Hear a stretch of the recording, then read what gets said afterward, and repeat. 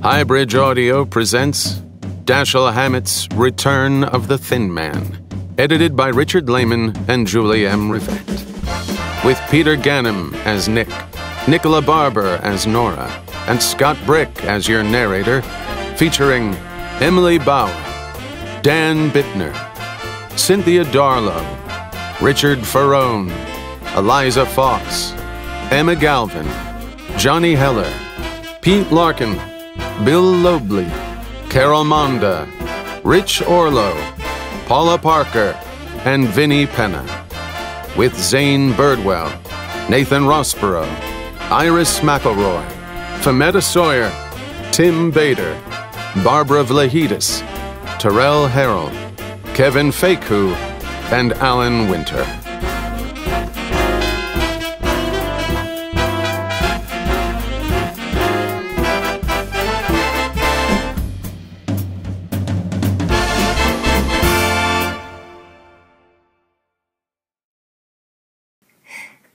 Mr. Charles? Yes.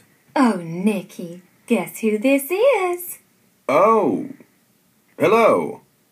It's good hearing your voice again. I didn't recognize it for a moment. How have you been? Who is it then? Now, you don't think I'd ever forget your voice. Yes, I do.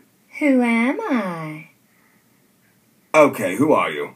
Oh, Nicky, to think you'd forget poor little me in just a few years. I know your voice as well as I do my own, but I just can't place it at the moment. It's a Letty, Nicky. Who? Letty Finharden. Don't you remember? My papa used to have a lighthouse. Of course. This connection is so bad, and there is so much noise I can hardly hear you.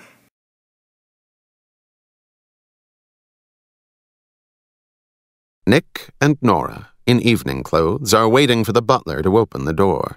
Nick is muttering to himself. Nora looks at him, puzzled.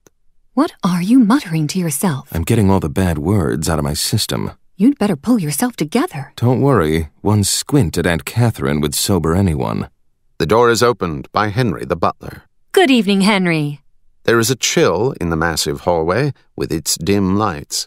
Nick and Nora come in as Henry holds the door open. Good evening, madam. Sir. Is this the waxworks? I beg pardon, sir.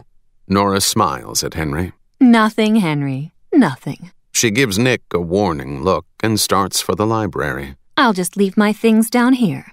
She goes down the hall, taking off her evening coat as she goes. The butler turns to Nick and helps him off with his coat. He touches Nick's things as if the mere contact with them might contaminate him. It's all right. It's not catching. The butler puts them down and starts toward the drawing room door. Will you walk this way, sir? The butler hobbles away ahead of Nick, hardly able to move on his rheumatic legs. Nick looks after him. I'll try. He starts to follow the butler, giving a grotesque imitation of his walk. As he passes the library door, Nora comes out, catches up with him, and grabs his arm, laughing at him. The butler announces them at the door of the drawing room. As they hear the announcement, they straighten up. Here goes. They start to walk in, sedately. As Nick and Nora come in the door, Aunt Catherine comes forward to greet them. How do you do, my dear? Nora kisses Aunt Catherine and then turns to include Nick. You remember Nick? Although she is doing her best to be gracious, Aunt Catherine finds it impossible to look at him. How are you, Nicholas? As Nick hears his name, he starts. Catherine turns back toward the roomful of people. Come right in. Helen comes up to Nora, who turns to greet her. Hello, Cousin Helen. Helen gives her a peck. How are you, you poor child? Nick gives Cousin Helen a swift look as he hears the commiserating tone of her voice, but Aunt Catherine has him in tow and he follows her. Aunt Catherine speaks to the whole family. This is Nora's husband. Nick looks from one to the other of the people. They are doing their best to appear pleasant, but the result is not very cordial. Aunt Catherine turns back to him. I think you know everyone. I seem to remember the old faces. Nora quickly takes Nick's arm and pilots him toward another group. What's up? They're all so polite. Nora smiles and takes him to Charlotte and William. This is Aunt Charlotte and Uncle Willie. Nick acknowledges the introduction with the same sickly sweet smile that they give him. And now for Aunt Hattie. From behind them, Charlotte's voice is heard. Poor Nora is so brave.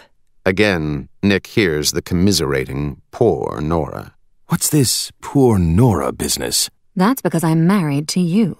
Then they reach Aunt Hattie. Aunt Hattie, you remember my husband? How are you? Don't mumble, young man. Don't mumble. How are you? Still, Aunt Hattie doesn't hear. She's deaf as a post. You're telling me. Aunt Hattie holds out her receiving box of the audio phone. What did he say? Nick takes the box and speaks into it, as if it were a microphone. When you hear the chime, it will be exactly.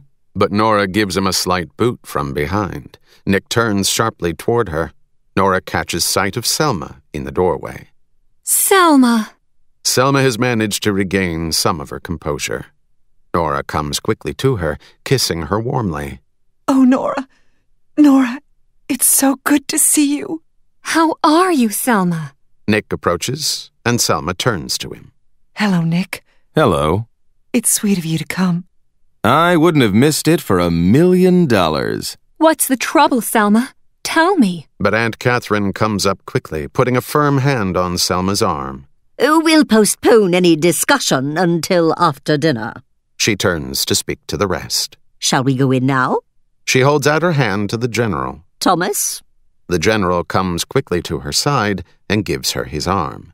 Where's Robert? Selma is about to speak, but Aunt Catherine hastily intervenes.